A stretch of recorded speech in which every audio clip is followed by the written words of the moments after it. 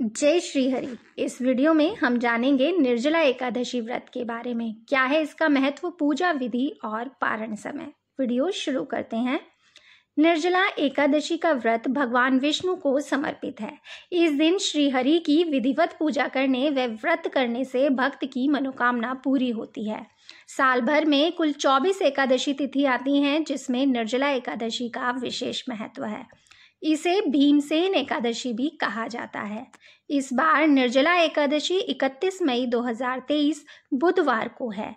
हिंदू पंचांग के अनुसार ज्येष्ठ मास के शुक्ल पक्ष की एकादशी को निर्जला एकादशी कहते हैं। मान्यता है कि इस दिन भगवान विष्णु की विधिवत पूजा की जाती है। इस व्रत के पुण्य प्रभाव से दीर्घायु और मोक्ष की प्राप्ति होती है। यदि आपने साल में एक भी एकादशी का व्रत नहीं किया है और आप निर्जला एकादशी का व्रत करते हैं तो आपको साल भर की सभी एकादशी के समान पुण्य फल की प्राप्ति होती है। क्या करें? निर्जला एकादशी वाले दिन आइए जानते हैं। निर्जला एकादशी के दिन सुबह जल्दी उठकर सूर्य देव को जल चढ़ाएँ। इसके बाद पीले रंग के वस्त्र धारण करके भगवान विष्णु की पूजा करें। उन्हें पीले फूल, पंचामृत अर्पित करें। इस दिन एक घूंट भी जल का सेवन नहीं करना होता। इस दिन जल और जल से भरे पात्र का दान करना बेहद शुभ माना जाता है।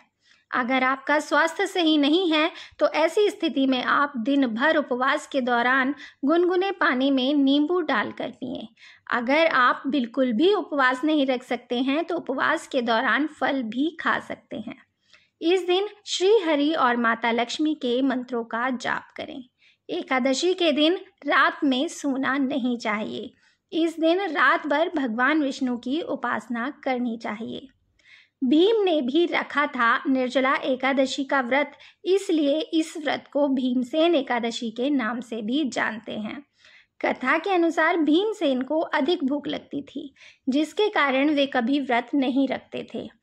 लेकिन वे चाहते थे कि मृत्यु के बाद मोक्ष की प्राप्ति हो, उनको पुण्य प्राप्त हो।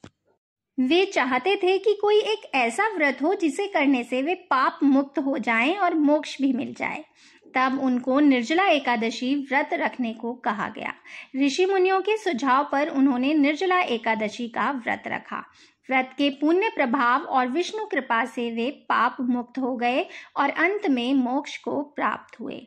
हिंदू पंचांग के अनुसार एकादशी तिथि 30 मई को दोपहर एक बजकर सात मिनट पर शुरू होगी और इसका समापन 31 मई को दोपहर एक बजकर पैंतालीस मिनट पर होगा।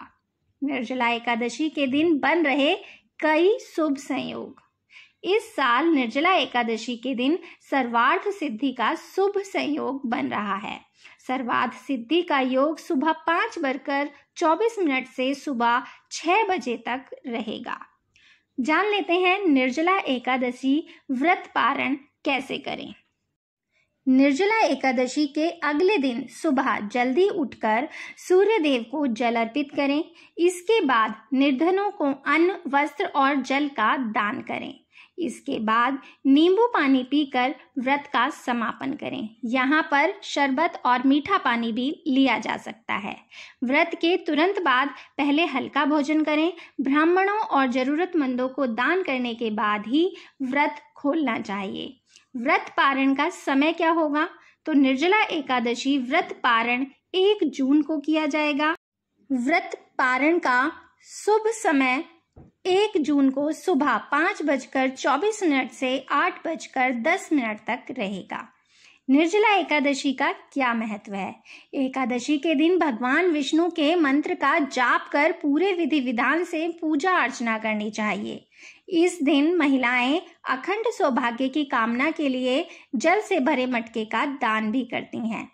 धार्मिक मान्यता के अनुसार निर्जला एकादशी का व्रत करने से सभी पापों से मुक्ति मिल जाती है।